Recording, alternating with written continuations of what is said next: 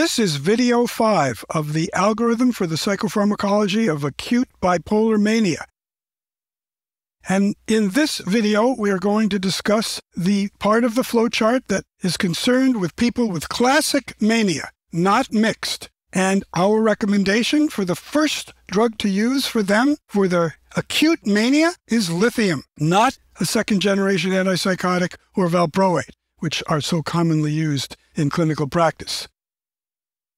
Why do we pick lithium first?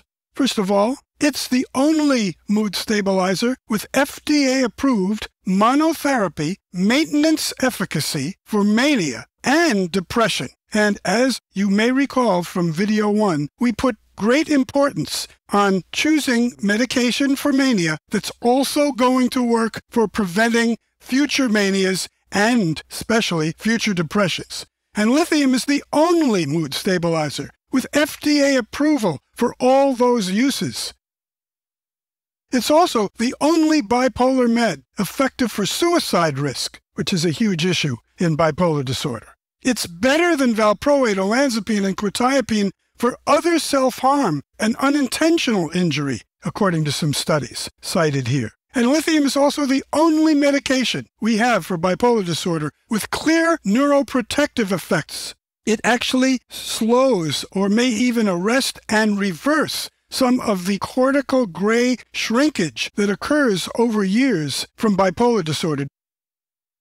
Now, there's more advantages. I haven't listed all of them. Patients on lithium monotherapy in three large community surveys were less likely to need any med changes compared to all other regimens. We have three major surveys of people in the community, how they're doing, what are they on with their bipolar. And lithium stands out as the monotherapy in the largest numbers. Everybody else seems to need combinations of treatment to be okay in the community. Another advantage of lithium no evidence that it's inferior to the SGAs for psychotic mania. And in one study, it was actually better than valproate for psychotic mania. And by the way, some people have the opinion that rapid cyclers don't do so well on lithium. Well, it's just false. Lithium is just as good as the other antimanic agent for rapid cyclers. Several reviews of the literature concluded that. Now, all people do less well when they're rapid cyclers. Lithium is just not any worse than the others. They all don't work as well. Rapid cycling is a tough problem, and our treatments don't work as well for it. But I do recommend strongly getting them off antidepressants. That makes rapid cycling, it causes it and makes it worse. All right, so first choice is lithium. Now, what about the second generation antipsychotics? Risperidone and olanzapine have good efficacy. The standardized mean difference from placebo in that meta analysis for non mixed mania was 0.5, as I mentioned earlier, olanzapine 0.42, but neither has evidence of efficacy for depressive symptoms in bipolar depression or mixed mania. So, given the priority we place on that ability, they are ranked lower. Now, what about olanzapine? Olanzapine is still popular for acute mania. How does it compare with lithium in acute mania, you may want to know? What's the evidence? Well, I will propose that you have a look at this study by Shafti et al. Of olanzapine versus lithium in acute bipolar mania, published in Journal of Affective Disorders 2010. It was a small study, 40 patients, all women, and it was a three week study, like most manic studies are, using the Manic State Rating Scale. The severity of mania reduction was the outcome measure, and with lithium at a mean blood level of 0.8 milliequivalents per liter, reduced the score by 20 points. Whereas olanzapine at a mean dose of 20 and a half milligrams so, in other words, both the lithium and the olanzapine were robustly dosed. The mean reduction on olanzapine was 7.6 points versus the 20 points on lithium. That was statistically significant at a 0.0002 level. Anyone believe that study listening to this lecture? Anyone believe that? Lithium could have been so much better than olanzapine when they were compared head to head in these women with mania. Well, for completeness, let's mention that there were two other studies of lithium versus olanzapine. In one of them, the olanzapine beat lithium. And in the third one, olanzapine had exactly the same results as lithium. So if we take all three studies, it looks like they're about the same. So that's why we argue that they are the same. Now, I also would like to go over a little data on how well does olanzapine work. For the olanzapine lovers out there, what is the evidence of how effective it is versus placebo? So in a pooled analysis of several studies of olanzapine for acute mania versus placebo, I have the results shown here. The response after three weeks, which is again your typical endpoint for mania studies, the percentage of patients who responded, response was defined as greater than a 50% improvement in the Young Mania Rating Scale. 55% responded to olanzapine after three weeks versus placebo, 30% responded. Okay, so it was better than placebo, but it wasn't any fantastic result.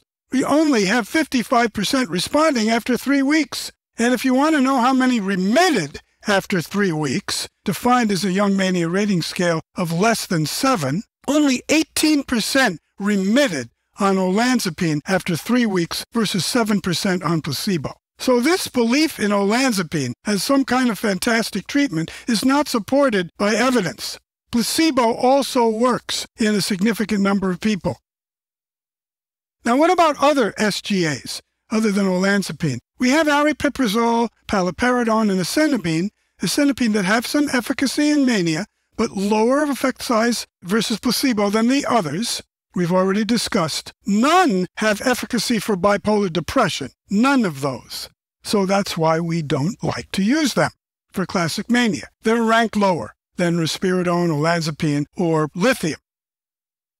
Now, what about haloperidol? You may wonder why we don't have that anywhere. You haven't seen it at all so far in our algorithms for mania. Well, it is highly effective for acute mania. In that same meta-analysis, it had the largest effect size of all anti-manic agents of 0.56, putting it larger than the risperidone, which is 0.5.